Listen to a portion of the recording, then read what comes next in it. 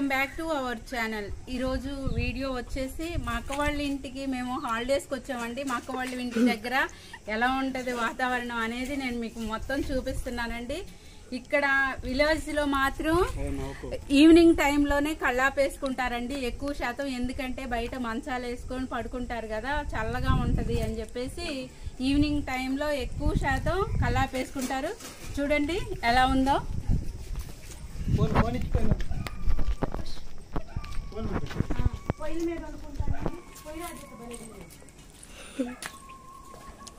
ఇదిగోండి ఇప్పుడు టైం వచ్చేసి కరెక్ట్గా కరెక్ట్గా సిక్స్ ఫార్టీ ఫైవ్ అయిందండి. టైం వచ్చేసి ఇదిగోండి చూడండి కట్టెల పొయ్యి మీద హాట్ వాటర్ కావాలి అంటే మాత్రం కంపల్సరిగా కట్టెల పొయ్యి మీద యూజ్ చేస్తారండి. వాటర్ మాత్రం. ఇదిగోండి చూసారా?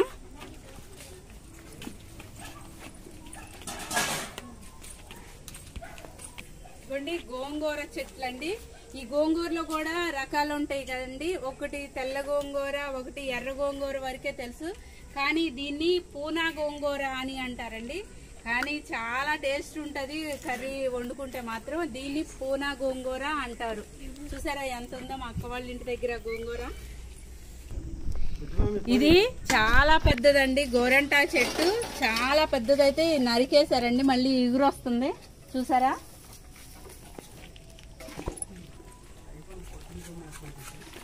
చూడండి సిటీలో అసలు వాటర్ అంటూ మాకు ఎంత కష్టమోనండి. వాటర్ అంటూ మాకు చాలా జాగ్రత్తగా యూజ్ చేసుకుంటాం మేము వాటర్ని కానీ ఇక్కడ వాటర్ ప్రాబ్లం కూడా ఉండదండి. చూడండి నిండిపోయింది ఇది ఉమ్. ఇట్లా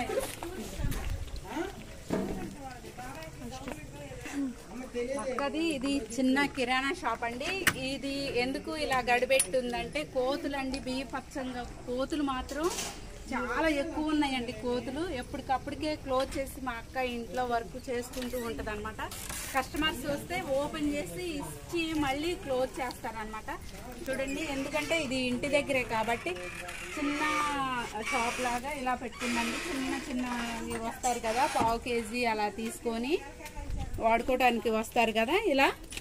మా అక్క ఈ షాప్ చూసుకుంటూ టైలరింగ్ చేస్తుంది అనమాట మా చిన్నక్క. టైలరింగ్ ప్లస్ ఇంట్లో మా అక్క ఇంట్లో కూడా ఒక ఇద్దరికి ట్రైనింగ్ ఇచ్చుకుంటూ మా అక్కకు వచ్చిన గిరాకీ వచ్చిన గిరాకీ వరకు స్టిచ్చింగ్ చేసుకుంటూ మళ్ళీ ఒక ఇద్దరికి ట్రైనింగ్ ఇస్తూ కిరాణా షాపు చూసుకుంటూ ఇంట్లో కుకింగ్ అంతా కంప్లీట్ చేసుకుంటూ హౌస్ వర్క్ అంతా చూసుకుంటూ మా అక్క ఇది కూడా ఇలా మెయింటెనెన్స్ చేసుకుంటుందండి మా అక్క. ఇదిగోండి సిమెంట్ రోడ్ అండి చక్కగా అసలు చూడండి ఎంత చూసారండి ఇక్కడ? ఇలా సిమెంట్ రోడ్లు ఉంటాయి చక్కగా ఎవరికి వాళ్ళే ఎవరి ఇంటి ముందు వాళ్ళు ఇలాగా ఉంటుంది ఇలా చక్కగా నీట్గా ఉంటుంది విలేజ్ అయినా కానీ చూడటానికి అసలు చాలా హ్యాపీగా అనిపిస్తుందండి ముందు.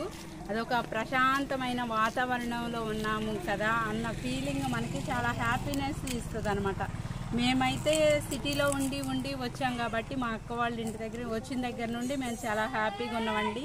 ఒక మాటతో చెప్పాలి అని అంటే ఒక మాటలో చెప్పాలి అంటే పంజరంలో రామచిలుక పంజరంలో నుండి వదిలేస్తే బయటికి ఎంత స్వేచ్ఛగా ఉంటుందో నేనైతే నా ఇద్దరు పిల్లలతోటి నేను అంత హ్యాపీగా ఉంటున్నానండి వచ్చిన దగ్గర నుంచి. చాలా హ్యాపీగా అనిపిస్తుంది అనమాట నాకు. ఇదండి గులాబీ చెట్టు అన్నమాట. ఇది చూడండి గులాబీ చెట్టు ఇది మొత్తం ఇది పెద్దది అనమాట గులాబీ చెట్టు. చూసారా ఎంత పెద్దగా ఉందో చూడండి.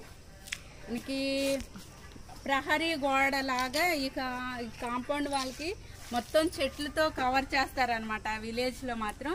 చూడండి రకరకాల ఫ్లవర్స్ చెట్లతో పెట్టుకుంటారు. చూడండి ఇక్కడ మందార చెట్టు. ముద్ద మందారం అండి. కుంకుమ మందారం అంటారు ఇది.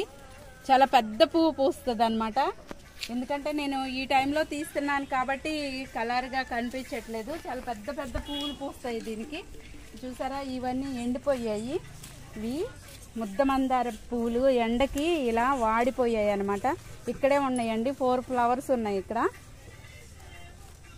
ఇవి మా అక్క వేస్ట్ చేయదండి. ఇలా వాడిపోయిన పువ్వులు తీసి కోకోనట్ ఆయిల్ ఉంటుంది కండి ఆయిల్ వేడి చేసి మా అక్క పాపకి ఇదే ఆయిల్ రాస్తుంది ఇవి అసలు వేస్ట్గా అస్సలు పడేది మా అక్క.